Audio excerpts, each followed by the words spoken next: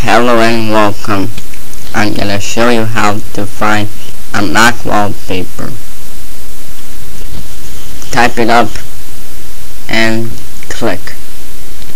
And click on images. Now choose what you want. Like Mac wallpaper. Click on this and save it. It's a purple wallpaper and then save it and click on the start menu and save as wallpaper.